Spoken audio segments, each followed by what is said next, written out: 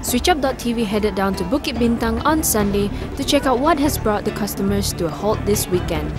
It was the unique Puma Motorsport pop up store setup that showed it all, showcasing an array of the latest Puma Motorsport and Puma Ferrari license collection. The pop-up store was an exciting project that is uh, started in some other countries and we did it uh, in Korea last year during the F1 race and it had huge success.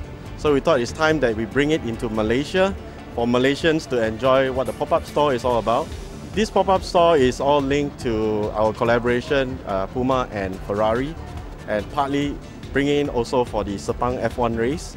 So uh, our collaboration with Ferrari has gone back a long way and uh, it's it's very exciting. And we're going to what we highlight inside is all Ferrari Puma products, from caps to uh, apparels, men's, ladies, and then we have bags, men's, ladies as well, and the shoes, obviously.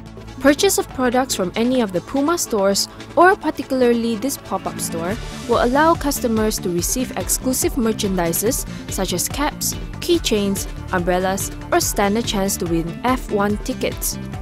Some 19 Ferrari owners lined up their luxury rides next to the Puma Motorsport pop-up store, attracting an excited crowd. Today we are on uh, display here. We brought our cars here for display uh, in conjunction with uh, Puma Motorsports. And today we have about 20 cars that join us. Uh, the members come from all over Malaysia. We have some from uh, Johor today. Penang came down last minute. Malacca also made it. So I think today is a very colorful event for the club. Apart from these events, normally we also have uh, weekly outings or larger monthly gatherings for the owner.